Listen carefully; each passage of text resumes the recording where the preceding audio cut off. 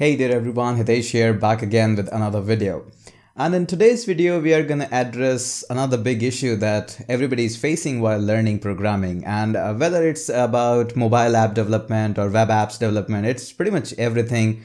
And moreover, dedicated towards the beginners who are learning the programming are facing two big issues. So we are gonna discuss what these issues are and we are gonna try to solve them. Now, first of all, you need to understand what are those issues. As I always say, in order to solve a problem, first you need to recognize that there is one. So let's discuss about them in this video.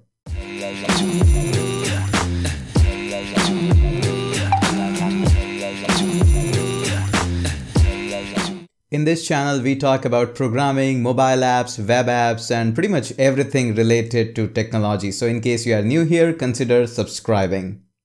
Now let's discuss about what are these two big issues that everybody is facing right now who are trying to learn programming. And these two big issues are lack of projects and lack of patience. Again, both started with the P, so projects and patience are the two big issues that I have seen.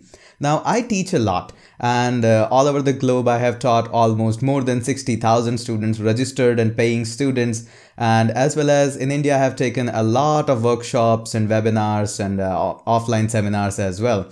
So I have seen this quite a common pattern and that pattern has evolved with a lack of something in our education system. Now, you go to any any state there and you will find in the universities you will find the curriculum that simply says hey you have to learn things like uh, data science or data structure and you have to just clear up the exam and that's it and people are not making enough projects to understand what is the essence of that subject or why that subject is actually necessary. For example, people are learning thermodynamics but have never understood where the thermodynamics need to be applied. Coming back onto the programming scenario, same thing happens when you learn about the data structure, C, C++ or anything. Everybody just says it's being used everywhere, but nobody exactly tells you that what kind of application you're going to build up uh, by the end of this semester. So that is really something wrong going on. And with this, when people learn something like HTML or PHP, uh, they are not having any idea what kind of good projects they can build up because the mentor is actually not taking them or driving through them completely with the scenario of designing a project. Of course, this doesn't happen in the online or offline boot camps, but uh, majority majority of the people are not taking boot camps. They are just uh, learning on their own or maybe learning via the university. So what I would say in here is go for the project. So you are learning C, you are learning C++ until unless you do some kind of professional grade projects. Now I'm not talking about these uh, dumb projects like library management system or all these. I'm talking about something uh, rigorous uh, and that takes some time and team management as well. Like for example, let me give you a quick few examples. Let's just say when I teach students uh, about in our mobile design course, iOS application, I like to teach them something like a clone of Snapchat or a clone of very famous the James Bond app that I do in every seminar or every every offline workshop or online workshop that I do or something like clone of a, Snapchat or maybe a WhatsApp chat or maybe a Uber clone. So these are some good projects that you need to implement. If you're going on to the web-based project, again, I would recommend to clone something big like uh, a Yelp clone would be good or maybe an Airbnb clone would be good or Zomato clone. These clones needs to be there. Now, I'm not taking uh, so that you can take over those business. I'm simply saying uh, while learning something about uh, cloning the websites of those business, uh, you will realize how complex things can go on while designing the project. So my number one tip would be to go for the projects, have some good idea. There are lots of apps in your mobile phone, Snapchat, WeChat, uh, WhatsApp, Uber, uh, Yelp, uh, other such things. So make sure you go for that approach.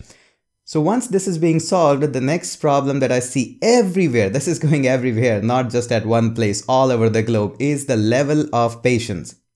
Now, everybody, when uh, somebody learns the PHP, he wants to create a Facebook. Or when somebody learns an iOS, he wants to create a game like a, a Flappy Bird game or maybe other such famous games.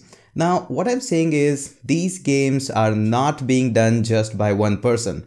And obviously, these games were not meant uh, to be created in just one day. They took a whole amount of time there and rigorous process is being made. So you have learned the PHP just maybe last within a week or maybe a month and you want to create a Facebook there, uh, it's not gonna be possible. Let's just be honest here. Yes, it's a good idea to get them and clone them, learn uh, some of the basics there. That's a, a completely good approach. Neither I'm demotivating anyone that you cannot create a big scale project. That's not the motto. All I'm saying is you should have patience within a week or within a month you cannot just complete a good scale project. So what i've seen is people are missing uh, the patience level. When you design a proper website when you design a proper app with just one app it takes months and you should be ready for that. Now I, I never say that I'm gonna be doing a magic in my courses or any other people. Uh, we just don't say that we are gonna do a magic and within one month or two months you will be able to write a full-fledged scale. Yes, you would definitely be able to understand the syntax and some good processes and good best practices there. But again, this doesn't mean you will be pro.